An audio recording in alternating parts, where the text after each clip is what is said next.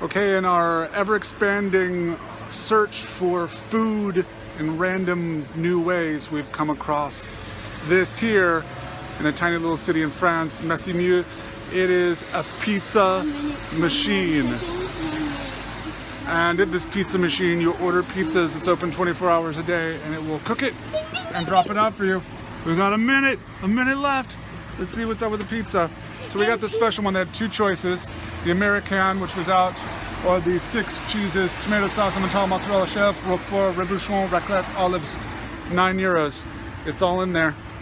We still have another 56 seconds left. Al, what do you think the pizza is going to taste like? Is it going to be good or is it going to be like a store brand pizza?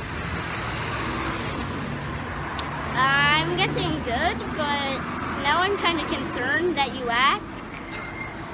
We'll find out. 40 seconds! I really want pizza. So we're joking that there's a little guy inside this box that is just like making the pizza the entire time. But the shop's actually closed. So my guess is that they've got a bunch of stacked up frozen pizzas and they just sort of cook them on demand.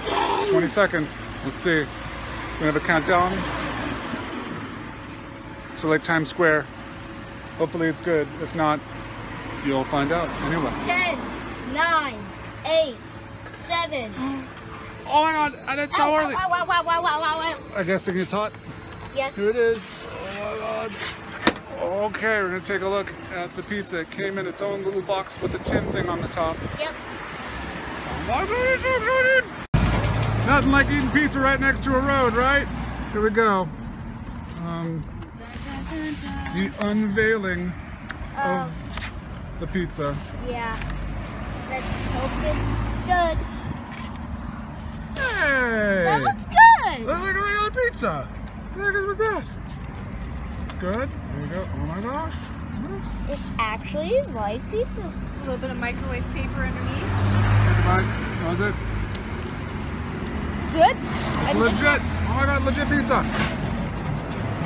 Oh, it's crunchy. There's a bit snap to it, so it's not microwave. You probably just have a I say, it Super like heat. it's.